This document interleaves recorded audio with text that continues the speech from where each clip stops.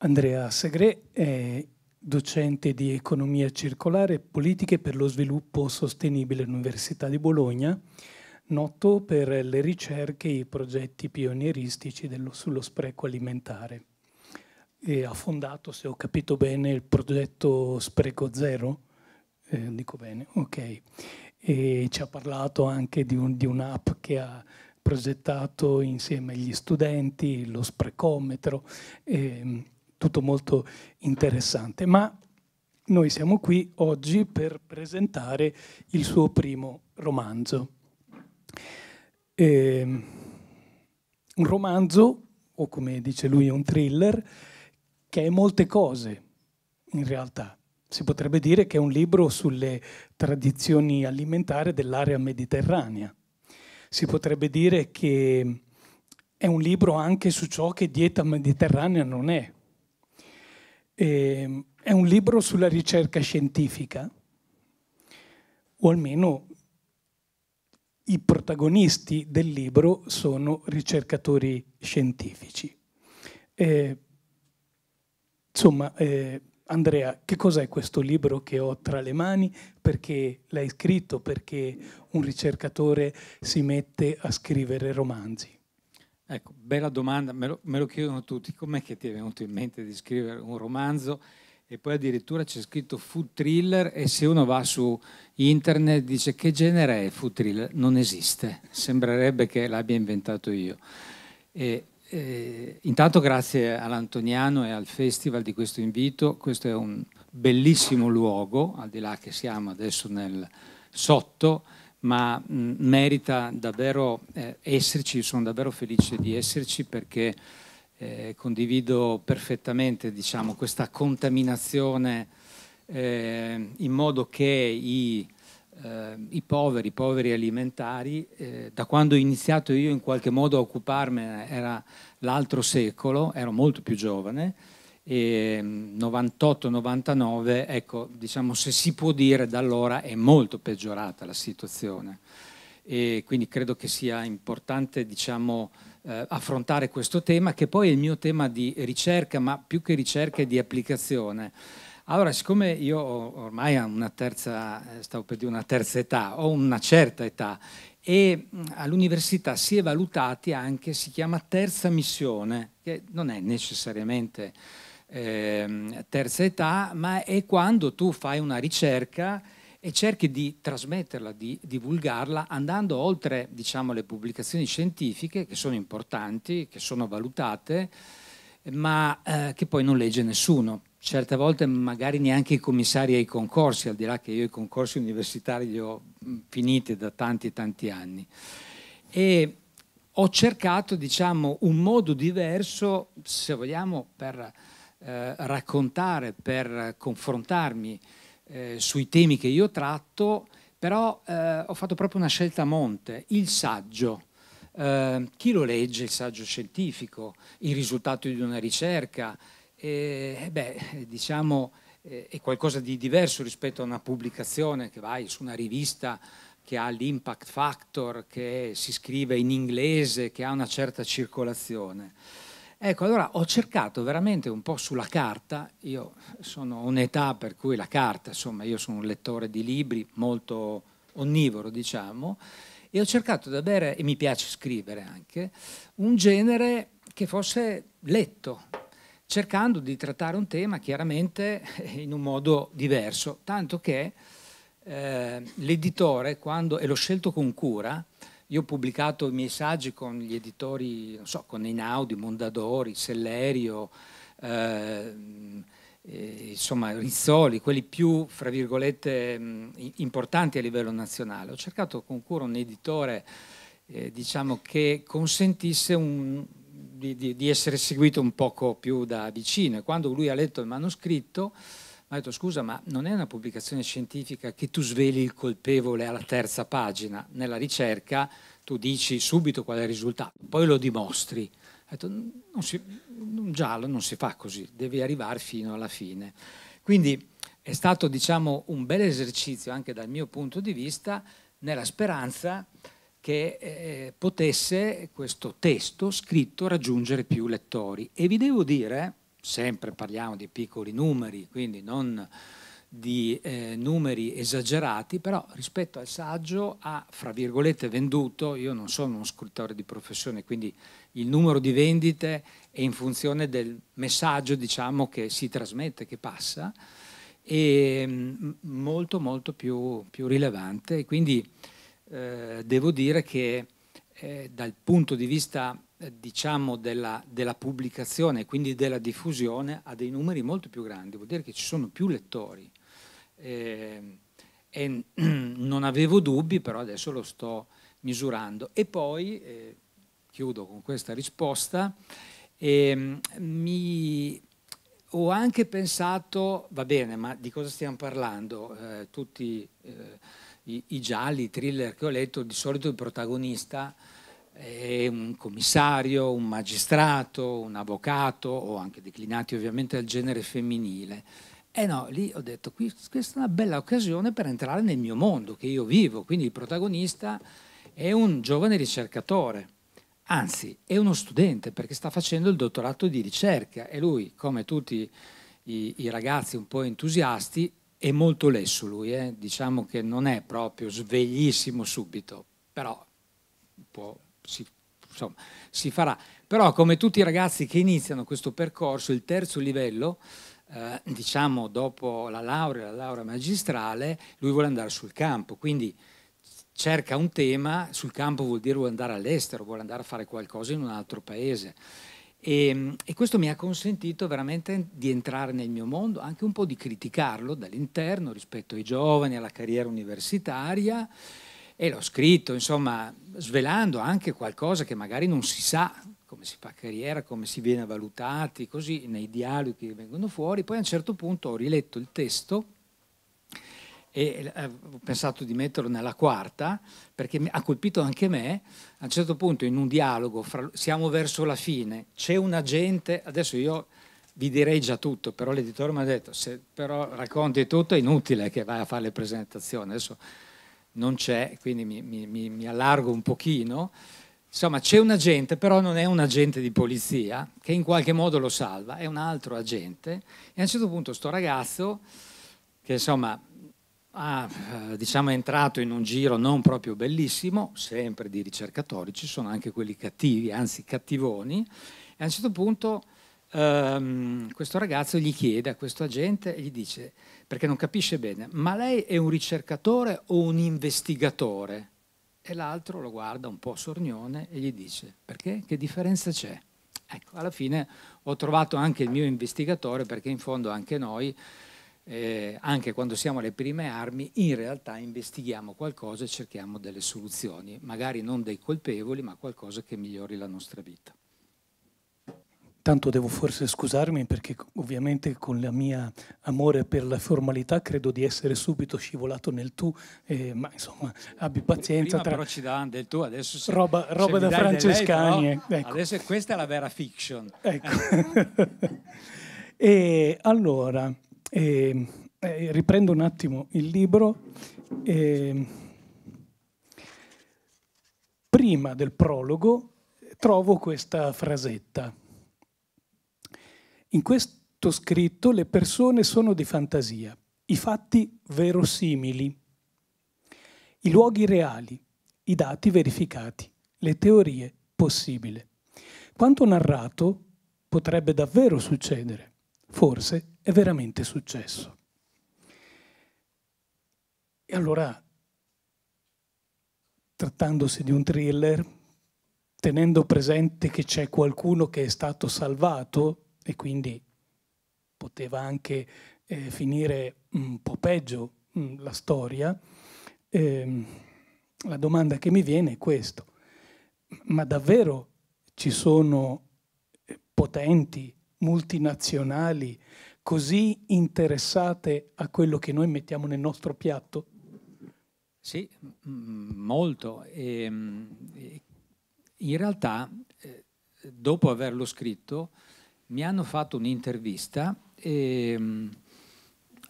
penso fosse Libero, un, un, un giornale diciamo che eh, nella pagina culturale ha un grande spazio e quindi la, la giornalista eh, mi ha fatto tante domande, ero anche sorpreso dal, dall'approfondimento che si poteva fare, perché di solito eh, sono diciamo, spazi molto, molto ridotti, e mi ha chiesto una cosa che mi ha sorpreso, eh, che però nel libro c'è, seppure non è citata direttamente, ma lei ha investito nelle multinazionali del farmaco? Io ho detto, noi, noi, universitari adesso sugli investimenti, almeno noi ad agraria, insomma, non è che siamo proprio sveglissimi subito. Io dicevo multinazionali del farmaco perché? Ma lei ha letto che c'è la pillola contro il, il saggio, insomma, il, no, il trill, scusate, vedete anch'io stesso. Il trill si chiama, il titolo è Globesity. Io avevo proposto un altro titolo che poi c'è nel testo, quindi porta, diciamo, a una delle questioni forse la più rilevante a livello, eh, a livello globale, cioè tutti noi anche eh, qualche giorno fa, vi ricordate, forse l'avete letto, la, la giornata mondiale dell'alimentazione, la FAO ci propone sempre il dato dei poveri alimentari, di chi ha fame, adesso sono quasi 900 milioni, stanno peraltro crescendo. Però guardando bene i dati diciamo, della fame, se uno prende altre statistiche, vede che in realtà i, eh, il sovrappeso gli obesi, ci sono quindi malnutriti per difetto, sarebbero gli affamati, e malnutriti per eccesso, sovrappeso e obesi, sono più del doppio. Quindi è da lì che si parte, eh, fra l'altro. E adesso negli Stati Uniti, visto che l'obesità è una eh, eh, diciamo, pandemia globale, l'OMS l'ha riconosciuta come una, una, malattia che ha diverse origini, io qui la tratto, è descritto all'inizio con, come posso dire, il giovane ricercatore con i guanti di, di, de, della festa, cioè parliamo solo del cibo, ha diverse origini, quindi insomma cioè, la, ho circoscritto molto il tema, però è uscita una pillolina eh, che forse l'avete letto sui giornali, che serve per dimagrire sostanzialmente, studiata dalla, dalle case farmaceutiche per combattere il diabete, che è un problema globale, viene utilizzata peraltro con delle controindicazioni, con un costo elevatissimo eh, eh, da chi vuole dimagrire. E voi sapete che negli Stati Uniti ci sono dei grandi obesi, molto più che in Europa e in Italia, e lì poi c'è una fascia della popolazione molto ricca che può permettersela e le azioni eh, di queste due, adesso saranno tre, una americana e una eh, norvegese, società che, che, la producono, sono un principio attivo e due nomi diciamo diversi, hanno avuto dei, dire, dei risultati economici eh, strabilianti. E quindi questa giornalista mi ha chiesto, io non ho mai fatto questa associazione che si potesse investire per dire la verità, ma il, eh, diciamo la, il farmaco lo, eh, lo, conoscevo e mi ha molto impressionato anche il costo, eh, diciamo, in eh, diciamo, assenza di una diffusione e quindi di una domanda molto grande. Circa eh, l'equivalente, adesso diciamolo in dollari, mille, almeno la, la cifra che ho, l'ultima che ho reperito, 1200 dollari al mese. La devi prendere sempre perché come smetti ti torna la fame. Mi, sem- mi sembrava una cosa, guardando poi i dati, eh, nel, nel, testo ci sono, veramente, come dire, paradossale. Cioè a quel punto qual è il messaggio? Mangi, mangia liberamente, ingozzati pure, mangia le peggio cose, le più schifezze, tanto poi c'è il pillolino. Solo che questo pillolino, al di là delle controindicazioni, e pare siano tante, non sono un medico quindi non mi addentro troppo, in realtà è come dire, è il rimedio che si possono permettere alcuni, soltanto alcuni. E a monte sembra un combinato disposto, eh, c'è qualcuno che produce il cibo spazzatura che è esattamente quello che ti porta poi a quel risultato. Quindi non è un discorso contro le multinazionali, però essere, sembra che ci sia veramente un bel connubio. C'è qualcuno che ti produce il cibo che ti fa ingrassare eh, diciamo rapidamente poi senza pensare alle diete, agli stili di vita, all'educazione alimentare, eccetera, c'è già rimedio pronto. Cosa ti interessa? Basta che tu te lo possa permettere. Allora a me la cosa ha molto colpito, un po' per lo squilibrio, un po' per il messaggio che ne esce, ma soprattutto perché guardando diciamo, i nostri dati, adesso lo dico, dopo l'uscita di questo non scriverò mai più un saggio, ho detto, basta. Vado solo, infatti sto scrivendo la seconda puntata, in realtà un saggio è appena uscito, lo presenteremo um, fra pochi giorni al MAST con il cardinale Zuppi, ha fatto lui la prefazione, si chiama La spesa nel carrello degli altri, l'Italia e l'impoverimento alimentare, perché viene fuori qualcosa di molto controintuitivo, che sono proprio i poveri, quelli che mangiano peggio, quelli che ingrassano di più e che sprecano di più. Poi questo tema insomma un po' si rincorre nel libro. È controintuitivo, non ti viene da dire che è così, no? Dice, come uno è povero, ha meno risorse economiche, mangerà di meno perché non riesce a fare la spesa. In realtà ha un doppio spreco, uno di qualità e uno di quantità, perché acquista prodotti di valore nutrizionale molto più basso, talvolta li getta via perché sono già rifiuti alimentari, altre volte vengono diciamo, mangiati e, e, hanno un impatto sulla salute. E sulla salute, infatti, se andate a vedere i dati, chi sono i più eh, diciamo, le categorie socio-economiche più in sovrappeso tendenti all'obesità, i più poveri, film già visto negli Stati Uniti e qui non è che scopriamo niente di nuovo. Ecco, allora diciamo la, la riflessione non è contro le multinazionali, i poteri forti, eh, l'uomo ragno, eh, per dire, è semplicemente c'è qualcosa di oggettivo che vedi nei dati e la sorpresa, e per questo poi ho deciso di pubblicare il saggio, forse sarà l'ultimo, perché in realtà questa, diciamo, ne parlavamo prima di iniziare, questo, diciamo, questo mangiar male, avere un impatto negativo sulla salute non riguarda soltanto i poveri, ma nella nostra indagine abbiamo visto e l'abbiamo definito impoverimento alimentare, non c'è qui dentro, vi dico qualcosa diciamo, di nuovo perché ci è venuto dopo guardando eh, diciamo, i risultati di questa indagine, cioè alla fine viene fuori che noi stiamo veramente mangiando male, ma non soltanto chi non ha accesso fisico o economico o culturale al cibo, ma anche tutti gli altri. Quindi c'è una tendenza a impoverirsi, ad avere un effetto sulla salute e, chiudo, abbiamo fatto, eh, ho presentato questo libro alla società medica sabato scorso con dei medici, diciamo, un incontro dedicato proprio al legame fra povertà e obesità, c'è.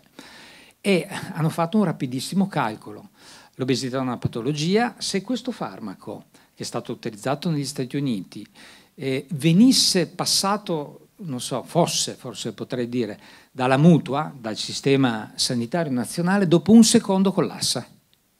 per, per il costo che dovrebbe, si dovrebbe sostenere. Quindi Ecco, occhio che è insomma, un, un, punto di attenzione, partendo adesso capisco da un food thriller, ma insomma, è, però è così, magari più serio, sembrerebbe più serio dirlo attraverso un, um, un saggio che ha un suo circuito e per questo così vengo a quello che ho scritto all'inizio, cioè questa cosa io me la sono inventata, ma diciamo potrebbe veramente succedere. Dopo un lungo viaggio, partendo da Cipro, attraversando un po' eh, buona parte del, della fascia mediterranea, Maghreb, eh, incrociando i, i, camion dei migranti, ehm, eh,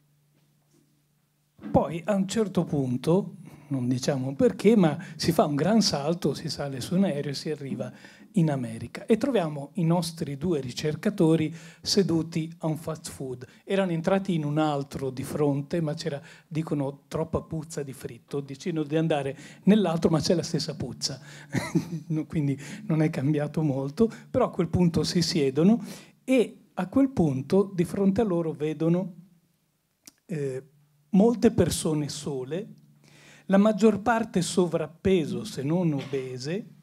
mangiano hamburger, patatine, bevono Coca-Cola, guardano il cellulare. Allora, ma dopo tutto quello che hanno visto, i profumi dei bazar, eh, il, la vivacità de, dei souk, eh, cioè, com'è che questa roba qui dei fast food ci affascina? Dov'è che, allora, che, ci acchiappa? Cioè in, in, verità i due non è che siano, si trovano lì, devono stanno scappando, insomma c'è una fuga. Sì, sì, certo. Ecco, io so non, che tu non, non è vuoi... che sono affascinati. e, e, quindi insomma si rifugiano sostanzialmente lì, entrano in un fast food, c'è una puzza di fritto atomico e, e dopodiché, siccome cose che chi è stato negli Stati Uniti, io ho vissuto là per qualche anno, insomma, sto d'oro di fritto me lo sono tirato dietro per un bel po' anch'io, e,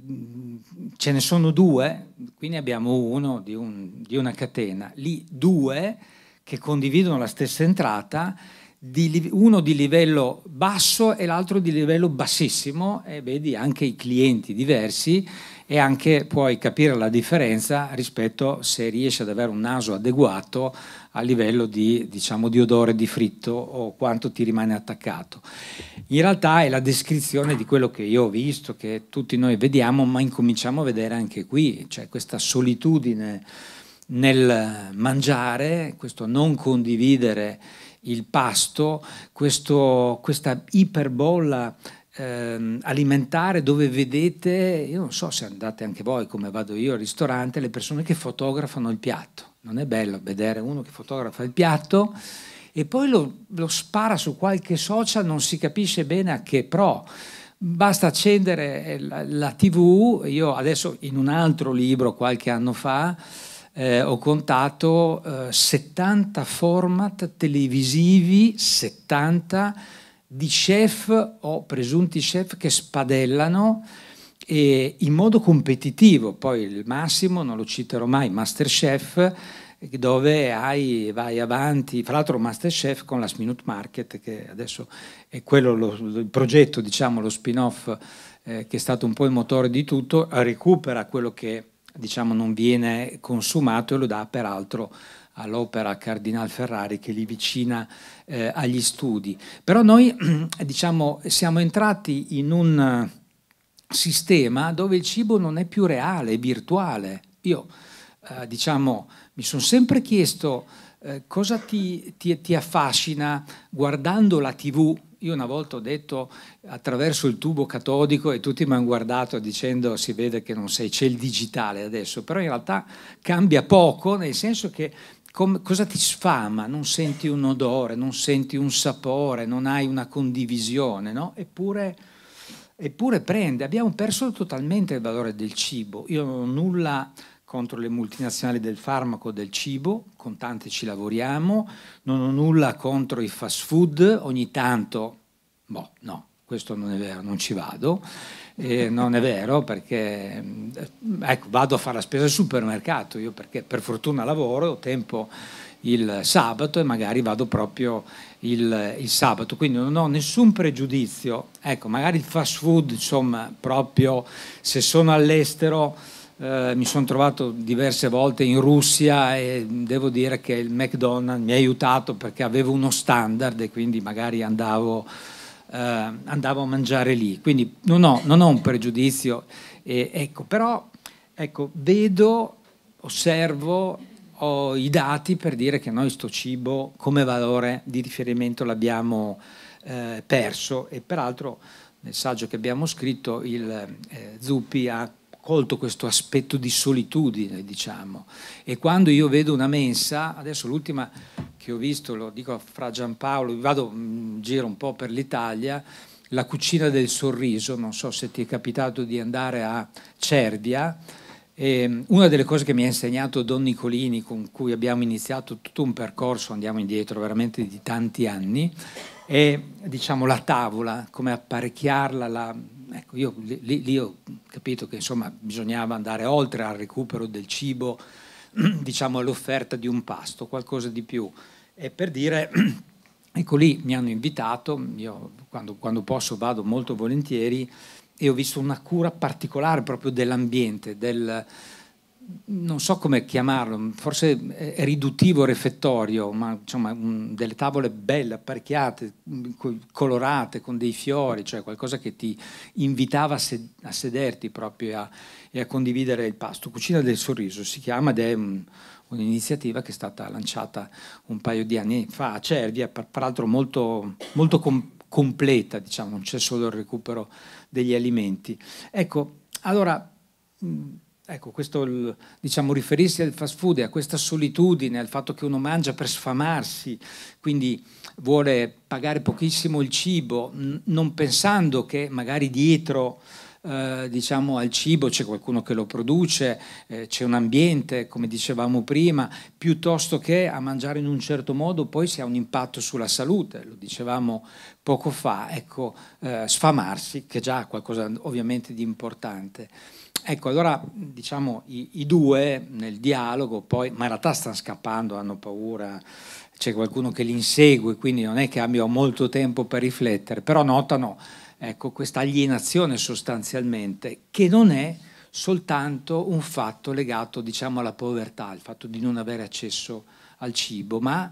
eh, questa dimensione della povertà non è unica. Molti pensano che sia soltanto questa soglia che l'Istat ti dà, la povertà assoluta, non puoi soddisfare i bisogni di base, che poi cosa sono? Il cibo, vestirsi, eh, l'alloggio, c'è una soglia poi, la, quella, la relativa, non so se avete visto i dati che sono usciti ieri, il 10% della popolazione.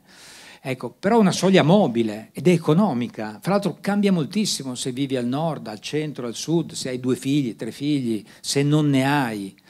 Ecco, e poi però questa platea si allarga. Ah, che bello, adesso sono un po' meno. No, però vai a vedere i dati, incrociali come abbiamo cercato di fare noi e poi hai dei passaggi di categoria, cioè il povero diciamo relativo che diventa poi povero assoluto e quello che era prima un gradino, così non rientrava nelle statistiche poi è entrato in questo podio, non so come definirlo, che non è proprio. Ecco, allora cercare di capire che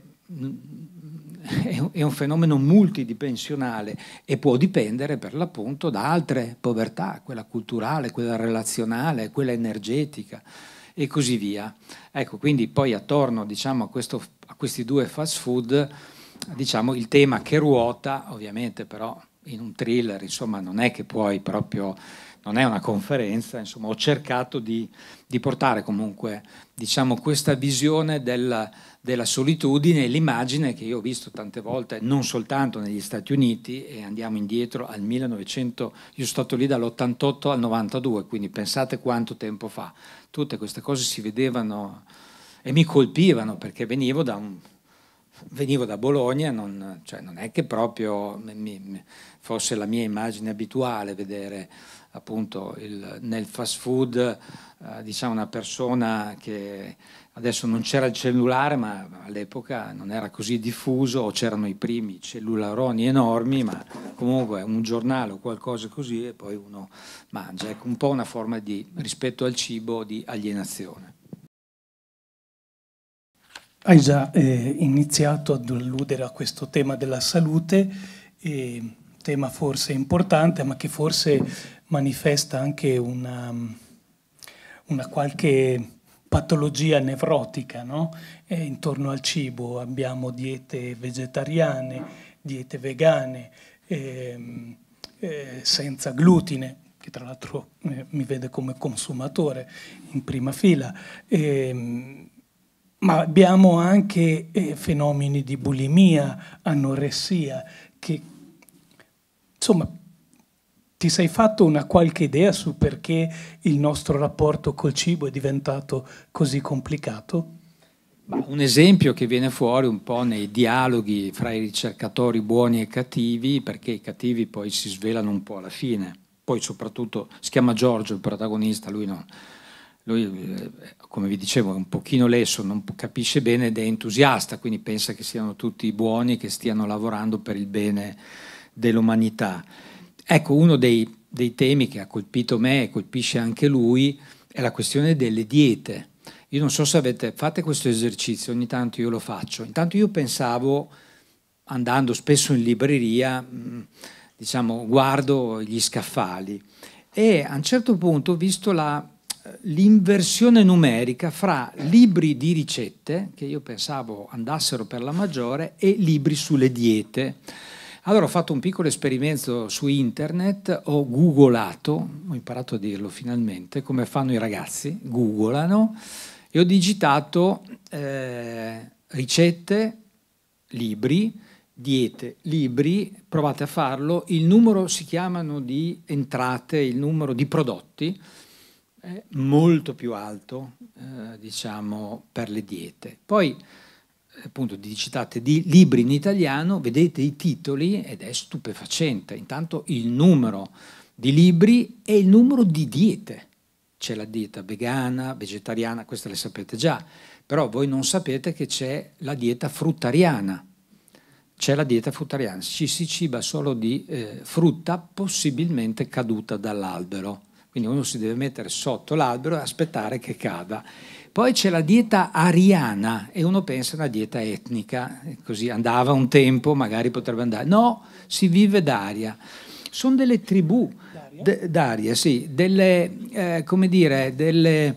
Eh, si, ah, fra l'altro adesso lo, lo, lo, cito in qualche modo, è un mio amico, collega che si chiama Marino Gnola che ha fatto un libro sulle tribù alimentari, bellissimo da leggere, tutti questi estremi. In realtà la dieta, che peraltro vorrebbe dire stile di vita, e uno pensa che sia mettersi a dieta, mangiare di meno, paradosso, fra l'altro sapete che noi spendiamo più per metterci a dieta e per curarci delle malattie che derivano dall'alimentazione che per mangiare, non so se lo sapevate, vi do qualche fonte per poter verificare diciamo, questo dato, ecco, alla fine cioè, viene fuori che ognuno si informa leggendo un libro, se va bene il libro, eh, perché il libro vuol dire che c'è un editore, c'è stato un editor, un minimo di verifica, perché peggio ancora sarebbe andare sui siti, ma la dieta non, non esiste nel senso che la dieta mia, la dieta tua, ti do del tu, la dieta sua di lei, è diversa nel senso che abbiamo un'età diversa, magari io e te abbiamo la stessa età, non lo so, eh, il genere diverso, lo stile di vita, le esigenze, quindi cioè, non, non è qualcosa che tu necessariamente prendi un libro o un sito, un fai da te, peraltro c'è anche la professione del dietista, del nutrizionista, del medico, eh, ci sono varie diciamo, professioni, anche lì c'è un pochino di confusione, ma comunque ci sono diciamo, gli specialisti che poi diciamo, vi, vi, possono consigliare. Ecco, allora eh, lì bisogna uscire un po' da questo mondo del, del fai da te, dell'informazione che uno eh, si fa prima perché è tutto disponibile e non riusciamo neanche in realtà a verificare le fonti, a capire se sono fonti attendibili eh, o meno. Per questo diciamo, lo stimolo dovrebbe essere certamente di informarsi, ma non prendere tutto per eh, diciamo, oro colato. Io non so se vi è capitato, io l'ho comperato questo, gli altri confesso che ho fatto lo screenshot piuttosto che in libreria cercando di non farmi vedere, ho fotografato la copertina la quarta, ma non so, quello di un giornalista che si chiama Panzironi, fra l'altro trovo un, così un cognome, un cognomen, omen, non so se si può dire così, se funziona in latino, ma cioè questo che è vivere 120 anni. L'hanno, non dico ingabbiato perché hanno, l'hanno condannato, adesso ci sarà l'appello, il contrappello, non lo so, mi pare a tre anni perché diciamo abuso della professione, a lui e al gemello, uguale a lui, che produce pillole quindi alla fine di questo libro, che probabilmente qualcuno, io l'ho preso, l'ho letto e l'ho fatto leggere a un collega nutrizionista, ha detto non ci sono delle cose sbagliate, l'avrà fatto scrivere da qualche specialista, però arrivate alla fine il claim è vivi a 120 anni, chi non vorrebbe vivere 120 anni? Io vi dico, mi piacerebbe arrivarci, ma devo essere con la testa a posto, se no penso che sia inutile e a un certo punto ti trovi anche, come dire, nel, in un claim, come si dice, così che ti, ti, ti, induce a pensare che e poi alla fine il vero diciamo, obiettivo è venderti le pillole della società di Panzironi Brother eh, che, che, che, che, poi insomma ci, mette, ci, ha messo su un business ecco, su un, su un, in un sistema non proprio, ma poi potrei farvi tanti altri, tanti altri casi. Ecco l'esempio della dieta in una società appunto opulenta che in realtà ha il problema di dimagrire, ecco, questo è il paradosso se volete, eh, diciamo ti porta a uno squilibrio sostanzialmente. E l'esempio che poi vi facevo prima, che è anche un altro come dire, campanello d'allarme, ma chi se ne frega dell'educazione alimentare, dello stile di vita, eh, di diciamo, dare valore al cibo, mangia tutto quello che vuoi, tanto a un certo punto arrivi a un certo livello, eh, se te lo puoi permettere, ogni giorno ti fai un'iniezione di questo Ozempic,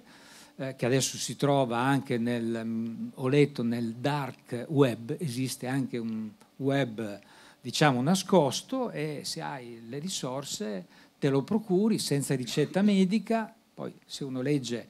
le controindicazioni che non ci sono perché è stato diciamo viene prescritto per altro per il diabete, quindi non c'è. Se tu lo prendi per dimagrire, gli effetti che fa, non entro nei dettagli li somma perché non sono un medico ed è giusto che di queste cose parlino gli esperti, però ecco, alla fine voi capite che tutti i programmi di educazione alimentare, il valore del cibo,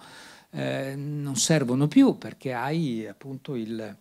il, il rimedio. Ecco, questa deriva fra le altre eh, che io faccio rientrare in questo impoverimento alimentare, che è anche un impoverimento culturale, ecco, secondo me non andrebbe sottovalutata perché alla fine poi siamo noi stessi che la paghiamo. L'esempio che vi ho fatto prima, calcolo dei medici, sabato scorso, in questo, ehm, in questo dia dialogo, insomma c'erano più medici che abbiamo fatto parlando di questo libro, in realtà anche dell'altro, e ci è venuto fuori che hanno fatto un calcolo, il numero di obesi in Italia, non mi ricordo, è il 10% della popolazione, che poi è il 10% anche quella in povertà, fra l'altro quindi un numero che si ricorda facilmente. Se tutti eh, avessero accesso attraverso il sistema sanitario di questa eh, pillola, con i costi che ha a monte e con i costi che quindi dovremmo sostenere noi in qualche modo con le nostre tasse, ecco, il sistema collassa. Voi capite che non è lungimirante in qualche modo eh, così. Ecco, bisognerebbe forse, questo, così, un segno di attenzione che noi proviamo ormai da tanti anni a lanciare all'istituzione alla politica, cioè guardate che forse sarebbe il caso di intervenire. Cosa si fa? Per dire adesso sul tema povertà c'è la card, questa social card che si chiama Dedicata a te, che sicuramente voi qui conoscete, e, mm, è il terzo anno che viene rinnovata, ma era partita prima, abbiamo fatto un calcolino eh, diciamo, la platea sia un po' ristretta di chi può aderire, al di là che il povero in questo caso deve essere molto digitale perché bisogna andare in posta, probabilmente deve avere lo speed, non è una cosa proprio semplicissima, abbiamo fatto un calcolo più o meno per la platea esistente, per il numero di mesi e per le risorse, viene fuori che hai 96-95 centesimi al giorno, abbiamo provato a fare una dieta con questa, e quindi hai un una scaglia di parmigiano, mezza acciuga, insomma abbiamo composto un pasto e fra l'altro la maggior parte delle persone che, eh, diciamo, eh, che, che, ne avrebbero bisogno non è proprio il loro consumo principale, loro vorrebbero prendersi una bottiglia o una o un cartone di tavernello e ovviamente non lo puoi prendere con... Quindi de- devi interrogarti perché uno arriva lì e, e, e ha bisogno di quel tipo di consumo. Ecco, non è per criticare adesso questa misura che sia chiaro, non ci sono risorse e così via, però in ogni caso è un effetto, come posso dire, tampone modesto, molto modesto, ma non, non, non si interroga a monte neanche come eventualmente agire prima che si arrivi a questa situazione. E poiché guardando i dati è strutturale perché peggiorano ogni anno, ecco forse eh, adesso dirlo qui dove si fa già tanto, cioè non è il, eh, parlavamo prima con Fra Giampaolo, cioè com, come arrivare agli altri, ecco sostanzialmente, perché qui se siete venuti qui ad ascoltare me e frequentare questo ambiente probabilmente queste cose le sapete già anche anche di più avete questa sensibilità, quindi magari non serve tanto qui. Ecco, bisognerebbe mm, riuscire, domanda aperta, anche andare un po' di più fuori, insomma, e, e, e riuscire a condividere questi, eh, questi temi, questi problemi anche con altre persone in modo che ne siano almeno consapevoli. La ricerca che svolgono i nostri due protagonisti, il protagonista e, e l'altro, l'altro, collega, eh, è concentrata sul grano. Perché tutta questa attenzione al grano? Allora, diciamo, parlando di cibo, di, di alimentazione di diete, una delle produzioni fondamentali grano, farina, pane, dolci, grano tenero, grano duro, è proprio il grano. E cercavo diciamo, un prodotto che rappresentasse eh, gran parte, diremmo così, delle diete globali e soprattutto di un'area che mi interessava, quella del bacino mediterraneo, ma il Mediterraneo, questo ragazzo, lui vorrebbe, eh, diciamo, questo penso che si possa dire, io comunque lo dico, eh, lui vorrebbe andare sul campo, cioè nei paesi, dove eh, diciamo che hanno ricevuto il riconoscimento UNESCO per la dieta mediterranea patrimonio dell'umanità. Tra l'altro adesso cade il dodicesimo, undicesimo anniversario. E la domanda che lui si fa col suo tutor, perché ogni dottorando ha un suo docente di riferimento, si chiedono, ma questi paesi, cioè si mangia ancora mediterraneo? Si, si, si pratica questa dieta? Quanto si sono avvicinati o allontanati? È una domanda, diciamo, cui lui vorrebbe dare risposta. Lui inizia a Cipro, che peraltro è un paese diviso, insomma, quindi ha tutto un suo perché, è fra la Grecia e la Turchia, come sapete, e mm, diciamo il, viene a contatto in qualche modo con dei ricercatori che lavorano sulla farina. Ecco, lavorano sulla farina e cercano, diciamo, delle tu ridi perché l'hai letto, ma e insomma, e cercano qualcosa che, che, che, che, rientra diciamo, nella composizione chimica della farina, perché effettivamente è diciamo, eh, la base di tanti prodotti alimentari. Ecco, poi succede qualcosa subito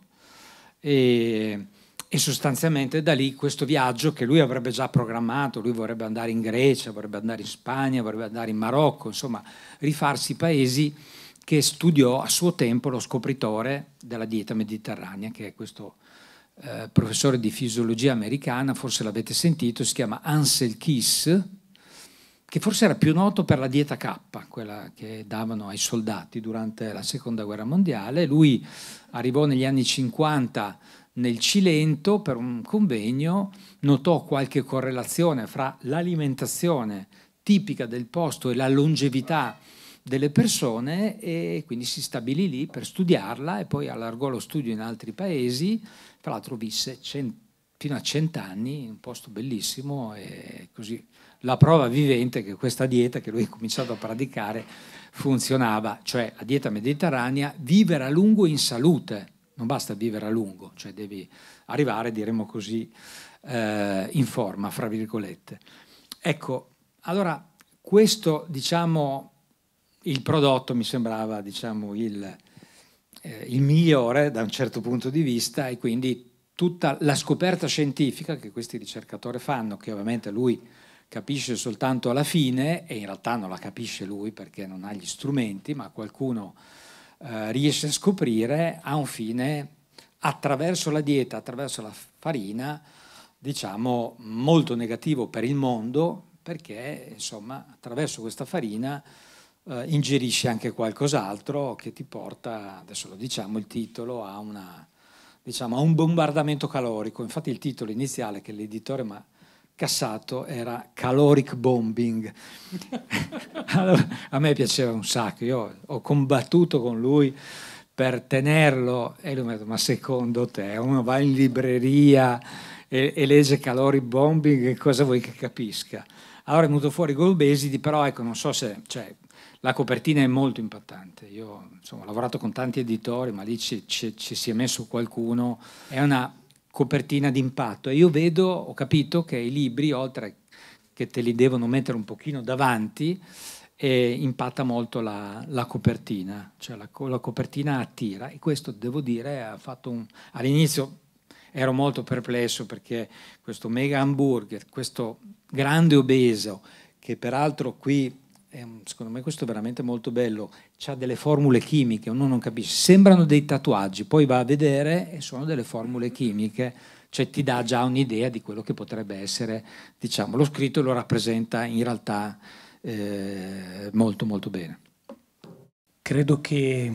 in, un, in questi giorni eh, qui a Bologna, con quanto è appena successo, non possiamo non chiederci se tracciò l'argomento di cui stiamo parlando, lo spreco alimentare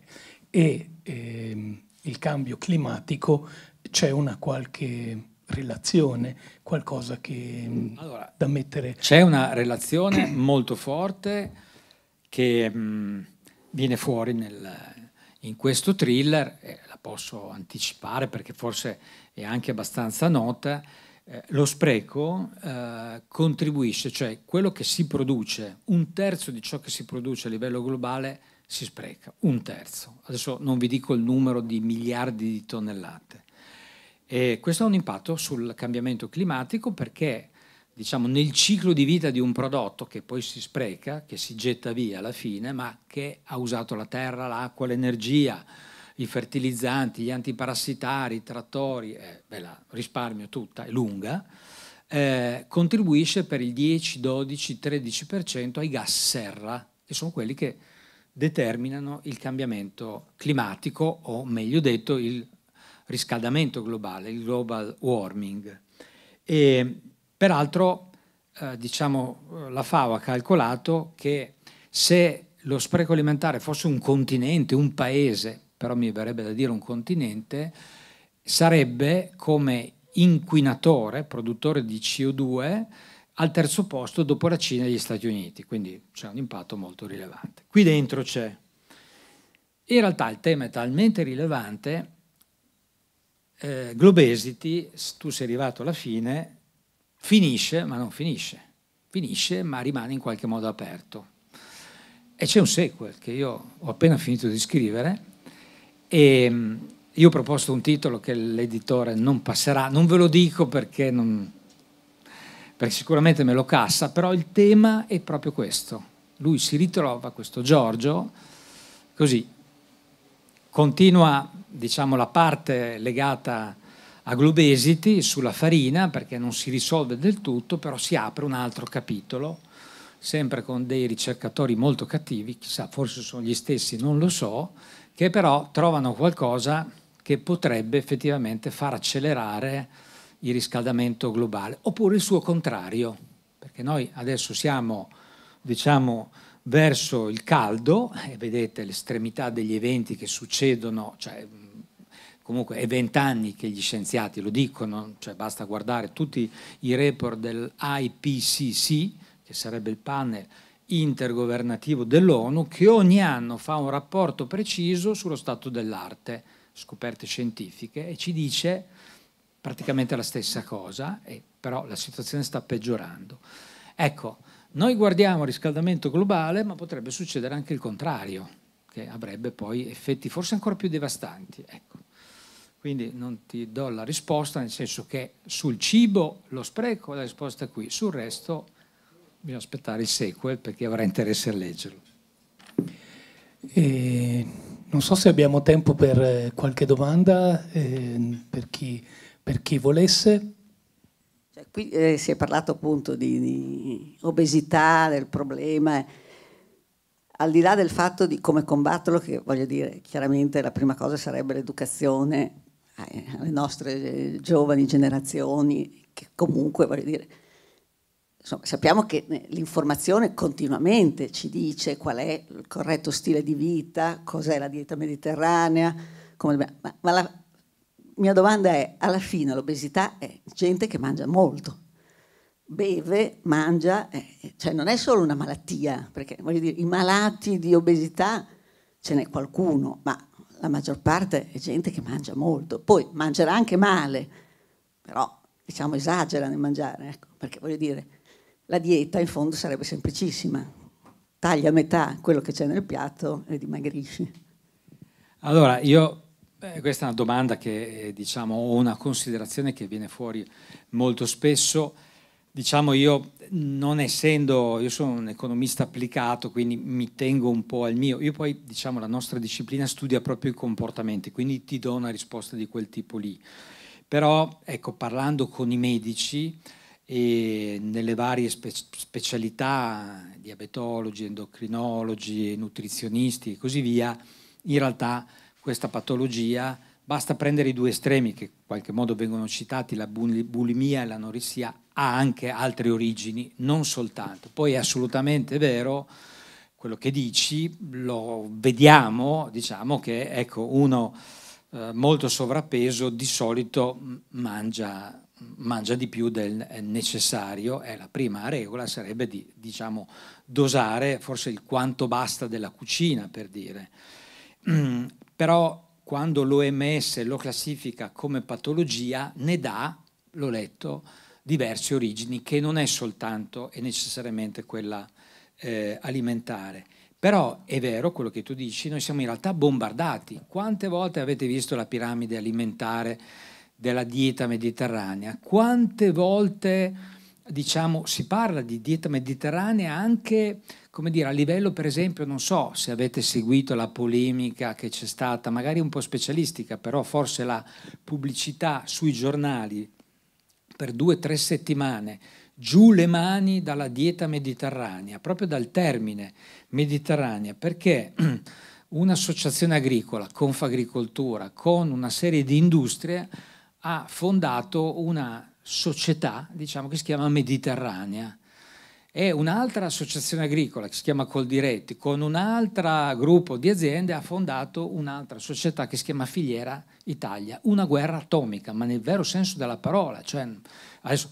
non è uscito molto, se non magari qualcuno di voi non interessato, non specialista, l'ha vista sui giornali, ma degli interessi dietro su una parola mediterranea, dieta mediterranea totalmente vuota, perché tema che stiamo affrontando adesso col nostro osservatorio sullo spreco, ma vi anticipo i dati, non è un segreto, della, diciamo, la dieta mediterranea è praticata dal 5% della popolazione e neanche siamo sicuri, italiana, eh? Quindi è una bella parola, ma il 95% di, di noi non la, non la applica guardando poi è uno stile di vita, quindi non è solo una piramide nutrizionale. Se tu eh, non hai alla base diciamo, eh, il movimento, la relazione, potrei andare avanti con quali sono i pilastri della dieta mediterranea, puoi mangiare tutto il giorno bulgur, ammesso che faccia bene, non te lo so dire, però è uno del, del, de, dei prodotti che vengono considerati equilibrati dal punto di vista dietetico e sarai sicuramente sovrappeso se non vai a fare il giro dell'isolato diverse volte perché ti devi eh, muovere. E allora la cosa sorprendente è che poi i nutrizionisti eh, mi hanno fatto vedere esiste l'indice di aderenza alla dieta mediterranea, questo nel Globesity c'è perché non poteva non esserci, nelle discussioni eh, che il dottorando fa col suo tutor e con un altro professore e, e a un certo punto gli dicono ma sai quant'è questo indice? Perché lui in realtà è un antropologo come formazione e questo dottorato che sta facendo è un mix fra antropologia e medicina sul cibo. E gli dicono, guarda che l'indice di aderenza alla dieta mediterranea in Italia in una scala fra 0 e 24 è 12, quindi vuol dire 5% della popolazione, anche quel 5% in realtà fa metà della dieta mediterranea. Quindi eh, la cosa che io cerco di passare e, e, sarebbe quello che poi dici tu sostanzialmente, che basterebbe buon senso perché le informazioni ci sono. E allora la domanda che io mi faccio e che poi un po' viene fuori anche nel thriller e che dicevo anche prima, come, visto che le informazioni ci sono, siamo un po' bombardati e si parla, c'è una narrazione continua appunto, addirittura guardate due, tre, un mese fa eh, questa pubblicità, giù le mani dalla dieta mediterranea, patrimonio dell'enogastronomia italiana, tutta una cosa, eh? e poi dopo dici, vabbè, parliamone, però almeno cerchiamo, scuola, educazione alimentare, di passare questo messaggio e far sì che venga in qualche modo applicato. E quindi è proprio questa cinga di trasmissione che manca. Le informazioni ci sono, talvolta esagerate, talvolta non verificate, talvolta anche fake, e quindi non riusciamo a distinguere il vero dal falso e, e, e, e allora cos'altro possiamo fare? Ecco, io mi accontenterei del tuo suggerimento, mangia la metà, però non, non basta evidentemente perché probabilmente lo fai tu, penso che tu lo faccia, magari lo faccio anch'io, ma la maggior parte delle persone diciamo che non hanno questa consapevolezza, questa sensibilità, questo buonsenso, questa tradizione, questa storia, insomma entriamo in tanti altri campi ed elementi, alla fine e poi se i dati sono quelli che vi ho detto e, e se stanno così peggiorando forse dobbiamo trovare un'altra chiave, qualcos'altro che ci aiuti a entrare e far capire che è conveniente, ecco, che spendi di meno, anzi vi do un dato così capite e ti do anche una risposta eh, abbiamo fatto due tesi e l'ho ripetuta due volte perché non ci credevo neanche io. Io insegno dietistica, economia però, quindi sono a contatto con studenti e anche con docenti e volevo capire eh, se seguire la dieta mediterranea secondo la piramide, in questo caso nutrizionale proprio, esiste, ed è valutata per ogni consumatore, quindi abbiamo preso un consumatore tipo che ha bisogno di 2000 calorie al giorno e che va a fare la spesa in supermercato, sempre lo stesso. E abbiamo eh, fatto due carrelli della spesa, un carrello che segue perfettamente la piramide, consumo domestico, quindi vai a fare la spesa, porti a casa e cucina e cucini e hai una dieta, tre pasti al giorno e due spuntini e segui la dieta mediterranea, secondo prescrizione, che nessuno in realtà fa. Poi abbiamo preso il carrello della spesa dell'italiano medio, che va a fare la spesa normalmente, questo sì reale. E alla fine abbiamo fatto la somma del costo dei prodotti ed è venuto fuori, vado a memoria, ma non mi sbaglio di molto, che se segui perfettamente la dieta mediterranea, secondo la prescrizione del dietista, l'ha fatto un dietista questa, questo carrello della spesa, hai bisogno di 2000 calorie, sei un uomo, hai 40 anni, adesso abbiamo preso proprio un tipo, e vai a fare la spesa nello stesso posto, eh, quindi non vai dal contadino, eh, dal discount, vai in un supermercato. Abbiamo preso un supermercato, i prezzi del supermercato erano 44 euro a settimana. La stessa spesa fatta un po' così, tirando giù la roba dagli scaffali, e gli euro a settimana erano di più, 47. Cioè alla fine io non ci credevo, dico ma no, perché avevo il pregiudizio, ma mangiare bene costa di più. No, in realtà devi sapere cosa scegliere. Io i prodotti li ho visti, eh? cioè il carrello esiste realmente. E alla fine abbiamo fatto un calcolo, ma allora se mangi meglio poi hai un impatto sulla salute e quindi alla fine, diciamo, oltre a spendere di meno avrai anche una minor spesa sanitaria e tutto il sistema se ne avvantaggia peraltro. Poi questa studentessa, la prima, la seconda non ha avuto il coraggio di farlo, però per dirvi quanto valgono poco i professori universitari, ha detto io voglio fare anche il carrello fast food. E ho detto no, quello è un consumo extra domestico. Tu vai al ristorante, perché il fast food è un ristorante, paga l'affitto ai camerieri, cioè vai a mangiare fuori. Quindi non lo puoi fare, non lo puoi comparare lei, per dirvi quanto valiamo noi. Eh, la seconda però non l'ha fatto,